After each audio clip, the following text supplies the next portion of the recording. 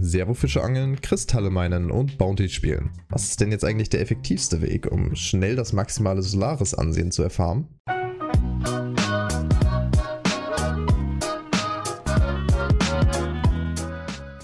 Die Antwort lautet weder noch.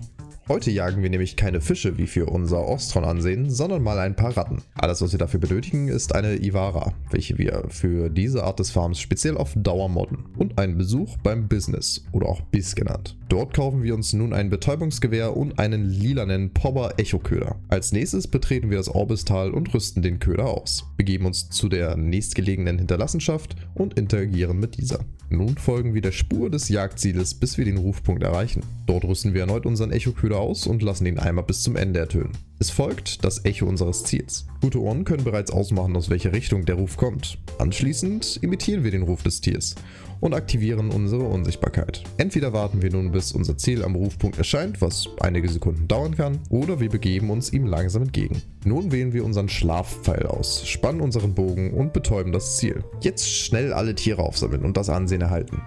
Haben wir alles richtig gemacht und einen perfekten Fang vollzogen, so erhalten wir im Durchschnitt zwischen 400 und 800 Ansehen pro Popper. Wichtig dabei ist es, dass unser Schlafpfeil das Ziel direkt trifft. Unsere zweite Fähigkeit Navigator erleichtert das Zielen ein wenig und erhöhte Reichweite, besonders das Einschläfern aller drei Popper auf einmal. Ansonsten wird der Abschlussgrad der Jagd nämlich vermindert und folglich auch unsere Belohnung deutlich schwächer. Noch etwas schneller geht es, wenn wir statt Poppern Jagd auf Horasks, Stovers oder Kubrodons machen. Diese müssen jedoch erst einmal freigeschaltet werden.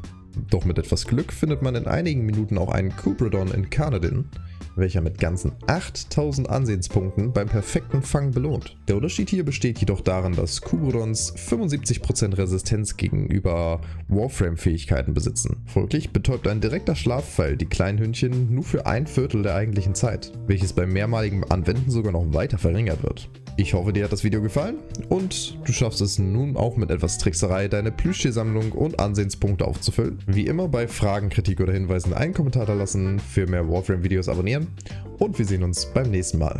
Bis dahin, Show Latino.